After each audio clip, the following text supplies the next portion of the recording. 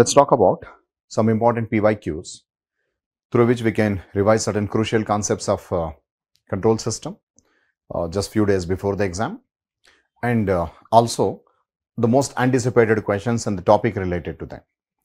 Like this question, which is from Routh Hurwitz stability criteria. There are certain topics that are more anticipated. Routh Hurwitz stability criteria is one of them uh, that is that helps us to find the stability of a system in time domain. It's a time domain method of determining the stability of a system. What does the question says? The question says that consider an even polynomial p of s given by s to the power 4 plus 5s square plus k plus 4. Question is where k is an unknown real parameter, the complete range of k for which the polynomial p of s has all of its roots on the j omega axis. Right. See, here we need to learn certain thing.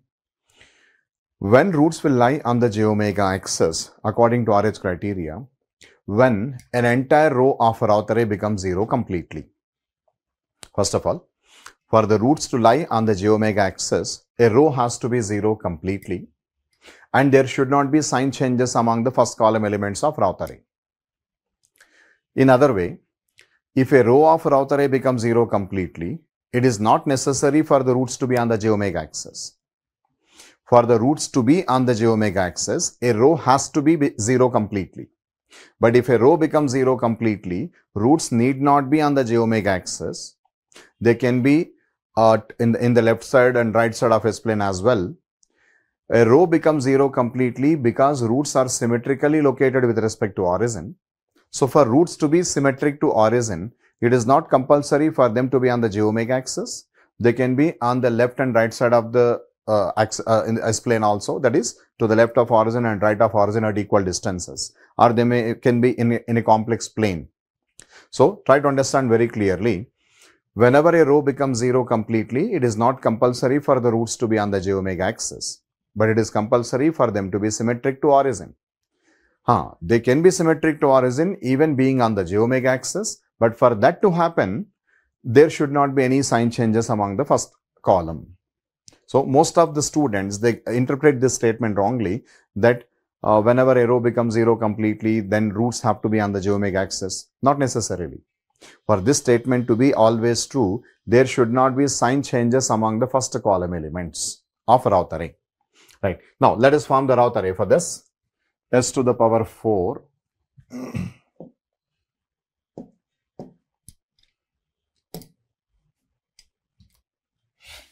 s to the power 4 s cube s square s to the power 1 s to the power 0 1 5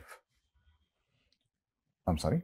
S cube coefficient is missing which means 0 if a coefficient is not present means that is 0 s square coefficient is 5 s to the power 1 coefficient is missing so 0 then the constant is k plus 4 now, a row of Routh array is becoming 0 completely. And most importantly, what does the question says? All the roots of the characteristic equation, all the roots of the polynomial have to be on the omega axis. See, how may, uh, what is the order of this polynomial? Fourth order. It means all four roots have to be on the omega axis. This is possible only when s cube row of Routh array becomes 0 completely. Because whenever a row becomes 0 completely, that plus 1 those many number of roots are symmetric to origin. Like if s cube row becomes 0, it means 4 roots are symmetric to origin.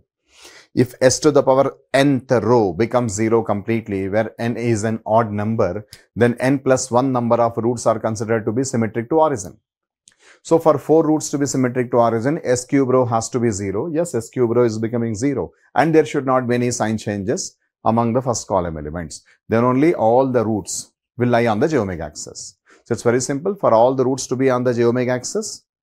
There should not be any sign changes among the first column elements, most importantly. And uh, whatever be the order of the polynomial, that minus 1, the row must be 0. So s cube row, yeah, that is becoming 0. Then what we do, we are going to form auxiliary polynomial from above row, which is nothing but the given polynomial. The given polynomial itself is the auxiliary polynomial. Then we differentiate this that is 4s cube plus 10s is a derivative. And we replace these zeros with the coefficients. This 0 is becoming 4 and this 0 is becoming 10 and we complete the Routh array. This is, I'm sorry, uh, 4s cube plus 10s, huh, 4 and 10. So this is going to be 20 minus 10, that is 10 by 4, 5 by 2, 2.5. This element is 2.5 and this element it becomes k plus 4. Then this element is going to be 25 minus 4 into k plus 4 upon 2.5 and this element this is going to be k plus 4. So as I told you the condition is for all the roots of this fourth order polynomial to be on the omega axis s cube row has to be 0 and there should not be any sign changes among the first column elements. Since this element is already positive, this is positive, this is positive. Now these two have to be positive. This should be greater than 0, this should be greater than 0.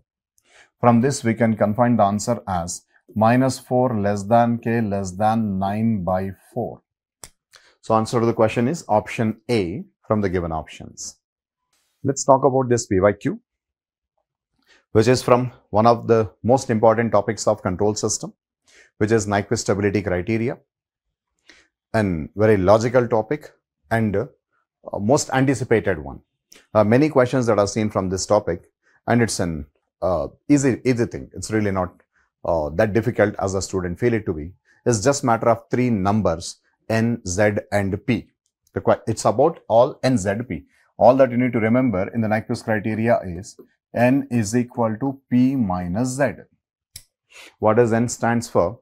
The number of times the Nyquist plot which is obtained corresponding to the Nyquist contour that should not pass through any poles of the function encircling the reference point minus 1 comma 0. And what does p stands for? Poles of the function that are encircled by the Nyquist contour. And z stands for zeros of the function that are encircled by the Nyquist contour. When it comes to closed loop function, zeros of q of s becomes closed loop poles. So this becomes open loop pole, this becomes closed loop pole, this becomes number of encirclements. We have a question here. What does it says? Consider the closed loop control system with unity negative feedback and a kg of s in the forward path. So we have got a plant with a gain k. And what else it says? Where k is equal to 2. The complete Nyquist plot of the transfer function g of s is given in the figure it is to be understood very clearly. Uh, it's like a control system given like this. It's a bit tricky here. We are given with k is equal to 2 and we are given with a plant g of s under unity negative feedback as the question says. And what is the system, what does the question says? Nyquist plot of g is given. It means only g, not kg. So, how do I make kg as g? By taking k is equal to 1, right? How does kg becomes g? This is Nyquist plot of g. It means it took initially k to be 1. If k is equal to 1, then kg becomes g. Nyquist plot for k is equal to 1 is given. Note that the Nyquist contour is chosen in clockwise direction. It's an important statement. Because if Nyquist contour is chosen in clockwise direction, then encirclements of the Nyquist plot with respect to minus 1 in anti-clockwise direction will be positive, in clockwise direction they will be taken as negative. Whereas if the Nyquist contour is chosen to be in anti-clockwise direction, then the number of encirclements of the Nyquist plot with respect to minus 1 comma 0 in clockwise direction will be taken as positive and in anti-clockwise direction they will be taken as negative. There will be a big issue with the polarity. There was a question in the GATE 21 2021 paper that has created such a controversy right? So for, i think uh, from there onwards examiners are careful in talking about the direction of the nyquist contour also. It should be mentioned in the question. If it is not mentioned we assume by default to be in clockwise direction. Fine. So assume that g of s has no poles or uh, poles on the right side of the s plane which means that p is equal to 0 so p stands for how many number of open loop poles are in the right side of S plane? P is equal to 0. What does the question says? Find the number of closed loop poles that are located in the right side of S plane. Question is about Z. z is given by p minus n and we know p to be 0. So, we are waiting for n. What does n stands for? As I told you just now, the number of times the Nyquist plot encircling minus 1 comma 0. Right. Now, it is seen from the diagram that minus 1 comma 0 is uh, outside the Nyquist plot and we consider that n is equal to 0 because it is not encircled. This is the mistake that we do in hurry. For k is equal to 1, this is the Nyquist plot and minus 1 is outside. But k is equal to 2, then this Nyquist plot will change and what kind of change it is? K is gain and gain is a multiplier. Gain is always a multiplier. It's never an divisor. It's not an addend. It's not a subtrahend. It's always a multiplier. Multiplier. So we have to multiply these magnitudes. Remember, magnitude is never equal to gain, but magnitude is always proportional to gain. Magnitude and gain are different. This 0.4 and 0.5 happens to be magnitude of the function given but magnitude is proportional to gain. So if you change the gain, the magnitude also changes proportionately. If you are changing gain from 1 to 2, then the magnitude also changes suitably. So magnitude 0.4 when gain is 1. Now when gain is 2, that magnitude becomes 0.8. Magnitude is 0.8 when the gain is 1. When the gain is double, then the magnitude also gets double. That becomes 1.6. Right. So what is going to happen? What changes are going to take place, take place here? I'll use a different color. See, this 0.8 is going to become 1.6. This 0.4 is going to become 0.8. Thereby, minus 1 will lie inside the Nyquist plot. Now it is outside, but later it will become inside. So it will be encircled once and once again. Minus 1 is encircled twice by the Nyquist plot in the clockwise direction. As I told you just now, for clockwise direction of the Nyquist contour, encirclements of the Nyquist plot with respect to minus 1 comma 0 in clockwise direction are taken to be negative. So this Nyquist plot is encircling minus 1 comma 0 two times in clockwise direction. n is equal to minus 2. Therefore, how many number of closed loop poles are in the right side of S plane? Z that is equal to 2. Answer to the question is option C. Let's now talk about this PYQ. And this is from the state space analysis or state model analysis, which is an important topic. And very frequently questions are seen in the gate examination from this topic for one and two marks both. And it's very interesting and easy topic, scoring. Question is about the state space. Transfer function of a system is given. B and D matrices are already mentioned about the state model. We just asked to find A and C matrices. We are asked to find A matrix and C matrix. See, there are many ways to solve this question. Let me tell you all the possible ways. The first method being something like this. See, it's a transfer function given y of s by u of s, which is 1 upon s cube plus 3s square plus 2s plus 1. By cross multiplying, we can obtain the differential equation from this like d cube y of t by dt cube. Cross multiply and take inverse Laplace transform plus 3 d square y of t by dt square plus 2 dy of t by dt plus y of t is equal to u of t. It's a third order system. We need three state variables. let one state variable be output. Let the second one be its derivative. Let the third one be its double derivative. Then x1 dot becomes x2. x2 dot becomes x3. Then x3 dot that becomes third derivative of y which can be written from the output equation as u minus x1 minus 2x2 minus 3x3. Now, uh, and output y that is x1. So, compiling, the, compiling this in the form of state model, A matrix is going to become x1 dot is x2, 0, 1, 0, 0, 0, 1, x2 dot is x3, x3 dot minus 1, minus 2, minus 3 and C matrix y is equal to Cx, that is the state model, then C becomes 1, 0, 0. That's how we can answer. This is one method. Second method, rather than obtaining the differential equation, we can rationalize this transfer function with the highest power of s and then we can obtain signal flow graph which is nothing but state state diagram and then we can uh, get the state model even from that right like another method is we have to rationalize this with the highest power of s then arrange that in the form of Mason formula and obtain signal flow graph which is actually state diagram here and then from that you obtain the state model and then you can find A and C matrices, the requirement. Two methods.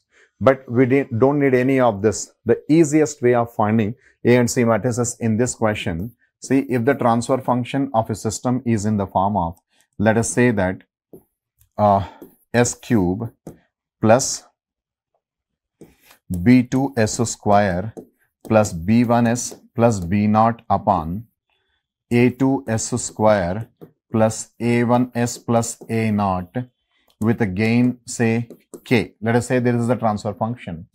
Then A matrix can be written like this.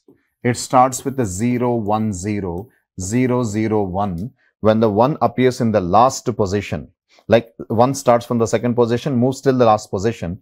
In the last row, we will be writing the coefficients of the characteristic equation from the least to uh, n minus 1. This is n, this is n minus 1 with opposite sign like minus b naught, minus b1, minus b2. This will be A matrix.